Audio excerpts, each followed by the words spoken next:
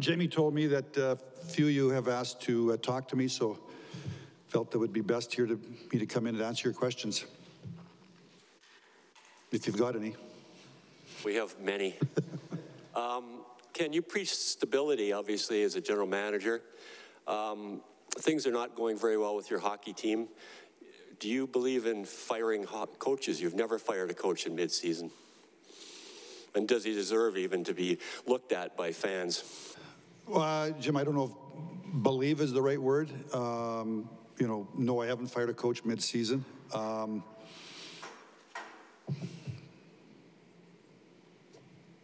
I don't believe in it, I guess. but it doesn't. I, but I, I, also understand that there are times when, uh, when, when possibly it needs to be done or it should be done. Um, in terms of signing or trading for player, have you ever gone out and got a reclamation project and said it'll work on our team? And how strong does the leadership group need to be to go out and get a player who is, say, a reclamation project? Um, yeah, I mean, I, I, I, can't, you know, I've been a manager for a long time, so um, I, I think the answer is yes you know, you, you, know, I think you're talking about a player that hasn't worked out somewhere else. I don't yes. word reclamation project because these are, um, you know, so it, it, when a situation doesn't work out somewhere else to give someone another opportunity, yes. Do I believe in it? Yes. And how disappointed are you with where the Oilers are right now? Well, very. You know, I think if you look at the season on December, we were looking yesterday, December the 2nd, we were first overall in the National Hockey League. Um, what's today, January 10th or 11th? You know, so a lot's happened in six weeks. Um, we were at 16 and 5, and then we've gone uh, 2 9 and 2 in the last. Uh, so the first 21 games, we were first overall in points percentage. And then the last uh, 13, 2 9 and 2, I think we're, we have the second worst record in the National Hockey League over, the, over that 13 game span. So it's, you know, we've gone from one extreme to another extreme. So, um, you know, i am not, to honest, tell you honest truth, I'm not I believe we have a good team. Uh, I obviously built the team. It's it's it's uh, it, whatever happens is on me. Um, I think again, I, am not really sure where we're at because it's been two two extremes have been so far apart, you know. And I think that in the 16 and five, um, our special teams were a major factor. We were we were we were probably near the, the top of the lead or, or, or at, it was extremely good. And now in the last uh, 13 games, I think we're 18% in the power play, and I think we're 60, 68% in the penalty kill. So, you know, if you're if your combined totals, um, power play and penalty kill, if it's if it adds up to say 105 to 110, you know, you're you're you're right near the top of the league, and we were probably 140-ish, you know, the first 15, 10, 15 games, which is unsustainable. And now, you know, it's it's 68 plus 18. We're, you know, it's it's 86. So it's it's got to be probably near the bottom of the league. So I think that, uh, you know, that would be one example of of. Uh, what's happened here the last 13 games, but again, I'm not sure where we're at because we've been we've been we've been in such extremes um, the first 21 games versus the last 13 that, that uh, I'm not sure where we're at, but I believe we have a good team, but but it's been too extreme, so it, it, it's, it's, it's, it's been hard for me to really get a, an understanding of where we're at. Thank you. Ken, um, when you're in Detroit, uh, you know, Dan Cleary got an opportunity, and Dan had talked about like, you know, he had some drinking problems, and he, and he cleared that up. Zach Kassian here in Edmonton went through the rehabilitation program of the NHL, and it worked out for him, and he's been a lot better of a person first. You talked about people. Like, if you're going to have a conversation with Evander Kane, would it focus more about making him a better person first? The player on the ice is good. seems to be the, you know, he's got some issues more person-wise that don't have to do with on-ice hockey. I think, I, I, think, Jason, it would be, you know, first to get an, under, uh, get an understanding, you know, of, of um, everything that's gone on in, the, in that person's life, or, or, you know, not their whole life, but but get an understanding of what's going on, um, and then trying to You know, it's like I said to Jim, I guess the answer to your question, I believe in second chances. You know, I, I, it's hard to be perfect. In, in, in, we're all people. We all make mistakes. Some make big mistakes, some make little mistakes, but it's hard to be, it's hard to be perfect. And um, I think if somebody makes a decision or does something in their life and they make a mistake, I think they have to, you know, try to, um, you know, learn from it and, and try to change and, uh, and, and, and uh, should be entitled to a, a second opportunity once they, once they do some of those things. When you look now, go to the, your team, and you mentioned the two extremes. Uh, the one area, goals against five on five, has been an issue for the club for a long time. Obviously, you know Mike Smith's injury uh, derailed the team a bit, but your goaltending, you've got a young guy in Stuart Skinner who played here. He had a 916 save percentage. He's been down in the minors playing great if you can't make a trade, do you have to try to solve internally? And does Stuart Skinner a guy that you're looking at giving more of an opportunity? I think first off, um, you know, if we're just talking about the goaltending, uh, you know, we got to get Smitty. The, you know, I'm going to go back three years. When I became manager here, we, we, I, you know, as the manager, made a decision to to to sign Mike Smith. Obviously, Dave Tippett, the coach, had a relationship with him. And I thought in the 1920 season, when we had, what, 72 points or 74 points with eh, eh, 10 games to go, that our goaltending played, you know, the way it was built. I think early on, Tip went two games for Smitty, two games for Koski, and they rotated. And I think they basically played half the games thereabouts over the over the 72 games. And um, you know, when when Koski went kind of slipped a little bit, Smitty carried the load and vice versa. But it was a it was a good tandem. And then you know, last year, you know, in a 56 game schedule, you know, Smitty got hurt and we had to overplay Koski for the first, I think he played 10 of the first 11, 11 the first 12, and then Smitty came back and Smitty carried, carried the bulk of the load. I thought he had, a, I think he played 35 of the last 46. But the schedule was last year, was a different schedule. We'd go play two road games in Winnipeg and we'd fly in the day before and you'd play a game and you'd have an off day. So it was an easier schedule. Now it's a more difficult schedule. Uh, I don't think he can, he can, you know, I say he, most goalies uh, have, it's hard to play 35 out of 46 with an NHL the way it is today. You know, we, we get into game three, and I, going into this season, that was our thought. You know, it's going to be Smitty and Koski. We're going to go, we're going to, we're going to ride the two, and one's going to get hot for a little bit, and the other one's going to slip, and, but, but they'll probably play a similar amount of games, and whenever somebody gets on a roll, we'll go with them. Game three, Smitty got hurt. Um, we thought it was nagging at the time, and you know, so we we ran out Koski for for a lot. There was still an unknown about Stu Skinner, and I'm going back to October. You know, so um, there was you know we wanted to get off to a good start, um, and then we played Koski a lot. We kept thinking that Smitty was on the horizon. But it was a nagging injury, and it kept nagging at him and kept nagging at him and kept nagging at him we eventually worked Stu Skinner into the mix, and I think that I thought that Koski and Stu Skinner did a, a, a really good job in, uh, you know, in that 16 and five. I mean, other than two games, they were they were the go- the guys in net for 16 and five. And then I think that over the last 13 games, we've just sort of come derailed. We haven't played good enough defensively. Um, I think everybody's got to play better. I mean, I, you know, probably our goaltending, our team play, our special teams. We've got some individuals I believe I believe can play better over the last 13 games. So, you know, Smitty's back now. You know, after Christmas, I think we're going to come out. We obviously got to we play one game here in two weeks. It's it's against Ottawa on Saturday. We're going to have some practice time here Wednesday, Thursday, Friday, Saturday. Play a game and then practice next week, next week Monday, Tuesday, Wednesday. I think we got to get back to to to, to Smitty and Koski. And but saying all that, Stu Skinner's in a good spot. He's playing every night down there in Bakersfield. I've been watching every night, every game on the computer. He's playing real well. We know what he can what he can do here. I think he's an NHL goal in the goalie in the waiting or making, however you want to want to do it. But I think it's, it's he's in a good place right now that he's playing playing lots. Let's get going here and see what what uh, how we get off how we get going um, after this break. Okay, so how long though can you wait? If you have a young goalie who's playing well and you're not getting the goaltending you want, like is it two games? Is it four? Do you, like how long before you have to make that change? Jason, here's my here's here's here's what as the manager, I like to my, I think it's my job to protect people, okay, to make sure that they are ready play the kids, play the kids, play the kids, play the kids, play the kids, play the kids.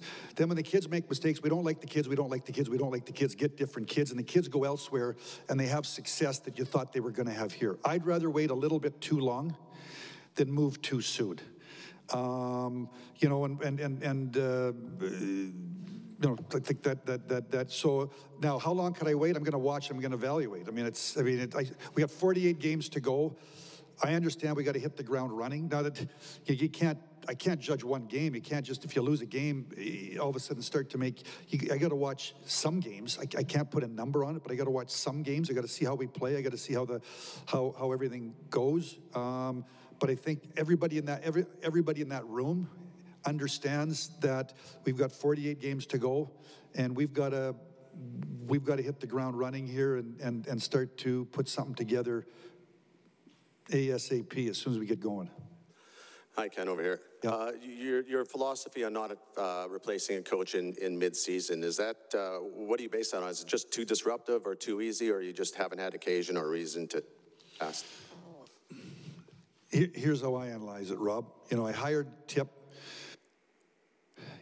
In, in my mind, we made the playoffs the last two years. You know, um, the year before we got here, I think the team was 28th in the league in points. You know, under Tip's leadership in, in year one, we were in second place in the division. The pandemic hit. We, we lost the play-in series against against Chicago, but but if there was no pandemic, we were making the playoffs. Um, last year, we were second in the in the North. Um, we lost three games in overtime against Winnipeg, and certainly we got swept. But but we've been in the playoffs two years in a row.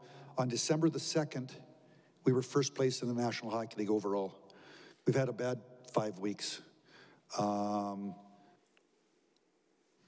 there's been seven coaches here in 10 years. You, you, you can't just keep whipping through coaches. It- I mean, you, you can't, I mean, at some point in time, you know, I think the coach, I think the team plays hard. I, I mean, our last game was against Toronto. It's, you know, you look at the record, I look at, you know, it's, the, the, I, I break it down. You know, the, the, against Toronto, it's 2 2 with what seven minutes to go, we take a penalty, they score, and they thought it was a pretty even game. And you know, we're we lose in overtime in the island, and we were up by a goal in uh, in uh, in Jersey, and they tie it late, and they beat us in overtime, and we're two two late in the second period in St. Louis, and. Um, you know, the games, I think Boston, we're, we're 2-2 or something with three minutes to go, and we lose a face-off in our zone, and, and, and, and Boston scores a goal. So it's 2-1 with three minutes to go against Carolina in the third period. I think it's 2-1 with five minutes to go in the third period against, against the LA Kings. Like, we're not getting we, we've given up the first goal, I think 20 out of 24, 21 out of 25 games. So it feels like the last six weeks we've been sort of chasing the game. But even, even falling behind, even with the special teams, we seem to find a way to play our way back into the game. So I, I, I- see, I feel that we've got a team that's, that's competitive. Uh, you know, they're competing. We're just we're just not winning. I, and I understand we're in pro hockey and we're judged on wins and losses, and we haven't won enough. But I believe that the coaching staff is, the team is playing hard. They're competing every night. Um, we've got a bit of a break here, I, and I hopefully you know talk talk to Tip and talk to a few of the players, make a couple tweaks, get get get every get people out of COVID, get our team back, and let's see how we can do. But I think, I think again, I think if you look at Tip's run as coach here, it's been a bad five weeks, or December second to it's what five and a half weeks. It's been a bad, it's been it's been a bad 13 games. It's been a disappointing 13 games.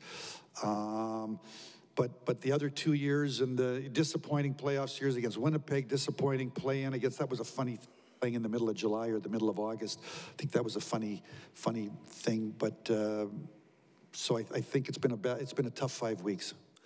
Having said that, is there a wins and losses tipping point, or is, is Tippett going to? We're going to start to win.